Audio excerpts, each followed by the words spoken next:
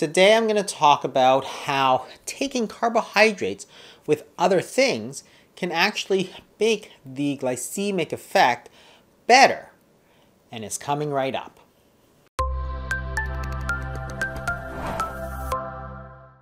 We know that carbohydrates tend to increase blood glucose as well as insulin.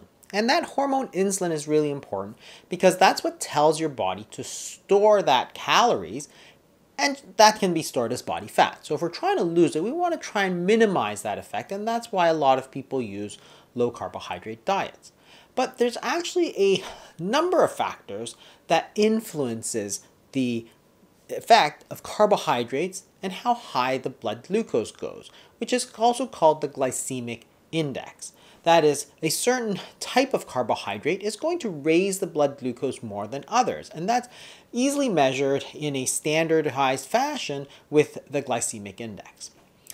The first factor that's important is the total number of carbohydrates, and this is well known to carbohydrate counters. For example, an average North American might take 2 to 300 carbohydrates per day, whereas low carbohydrate is variously defined. It might be 50 grams per day, and some people go all the way up to 130 grams per day. And the ketogenic diet is usually less than 20 grams per day. But that's only one of the factors. A second factor is the net carbs. And again, fairly well known, you take the total number of carbs and you subtract the fiber. And that's because fiber is not absorbed by the body. So if you have 100 grams of carbohydrates, but 50 of them is fiber, you don't really see that other 50. The other 50 grams of fiber mostly moves through your gut and is often excreted into the stools. The third is food order, and we covered that in our previous video about eating the carbs last because it has a tremendous effect on how high your blood glucose and insulin goes. Eating the carbs first versus eating the carbs last can have almost double the effect on the blood glucose. The fourth thing we're going to talk about today is what other foods you can take with those carbs to sort of blunt the effect on blood glucose. In Japan, they like to look at rice because that's their main carbohydrate. And they've done studies where they will look at the glycemic index of rice compared to rice combined with other meals. And there's two things that they have looked at in particular. One is vinegar. And it turns out when that you add that vinegar to the rice, the glycemic index is reduced significantly. In sushi rice, it is drops down to 59 compared to an average of 100 for white rice.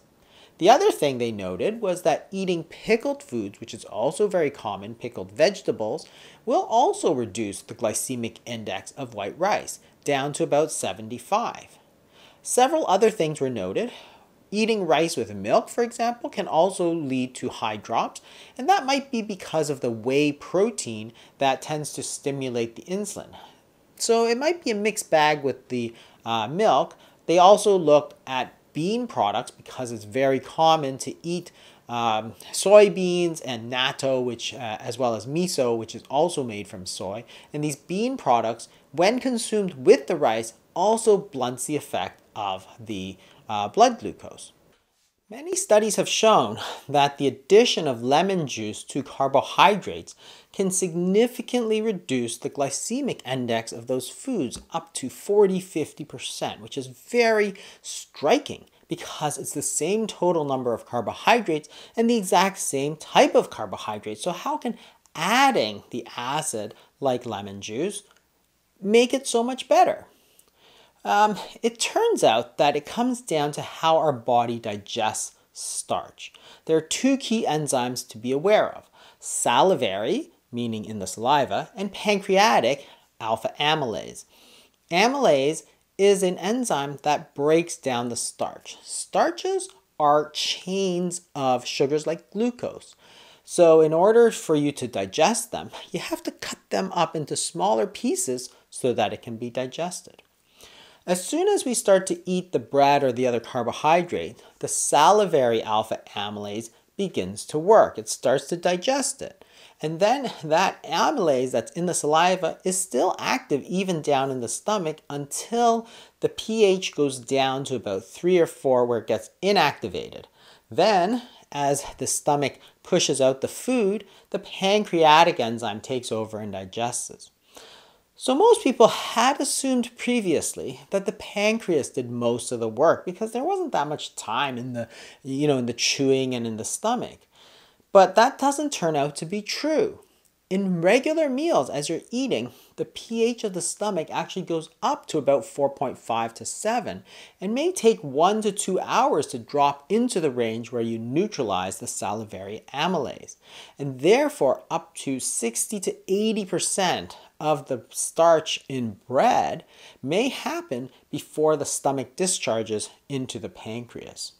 In this study, acid induced reduction of the glycemic response to starch rich foods, they are looking at the salivary alpha amylase inhibition hypothesis. And what they did was they took some bread and pasta and gluten free bread, and they wanted to test how much saliva can break down these foods. So they mixed it with some saliva, they chopped it up, and then they added either water or lemon juice, and then they tested how much was digested. This was done outside the body or in vitro. And the effect was most prominent for the bread.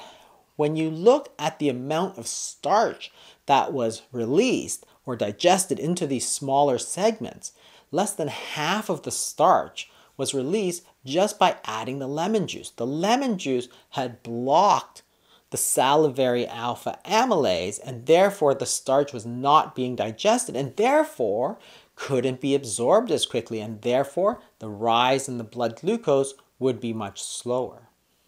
You also see the same effect with vinegar in bread. In this study, called vinegar supplementation, lowers glucose and insulin responses and increases satiety after a bread meal in healthy subjects. What they did was they took people and they gave them bread. And they tested them with various levels of vinegar a little bit, a medium amount, and a lot. And then they tested the blood glucose and the blood insulin. And what they find is very striking. There's a clear dose response relationship that the more vinegar you take with the same amount of bread, the lower your blood glucose and the lower your insulin because it's probably not being completely digested. So, therefore, your body isn't seeing as much of the simple sugars that are all chopped up. And also, it produces the highest satiety. So, you're getting this sort of double effect. The bread with the vinegar isn't producing as much effect, but it's also making you not want to eat as much. So, the bottom line is you don't want to be eating naked carbs. That is carbs just by themselves because you're going to expose yourself to the maximum glucose and maximum insulin responses. In fact, the best thing is to add a little bit of acid, which is going to inhibit the digestion of the foods, which is going to make you see less of that carbohydrate. So you can use things such as fermented foods, which have lactic acid, vinegar, which is acetic acid, or lemons or lemon juice, which has citric acid. And if you do that, you're going to see a significant benefit in terms of lowering of that sugar. And eating naked carbs was a big mistake for people who were told to eat an ultra low fat diet because if you're trying to cut down the fats, a lot of times you're not going to have the protein either. So you're going to get those naked carbs like white bread and jam, which are just going to spike your glucose, spike your insulin, and then be digested so fast that it's going to leave you ravenous shortly after. So keep in mind that the carbohydrates are important in terms of the physiologic response, but there are those four important factors, including the total amount, the net carbohydrates, the food order, and also what you take it with, particularly the acid. I hope you learned something. If you did, please share it with your friends. They may learn something too. Thanks for watching. See you next week.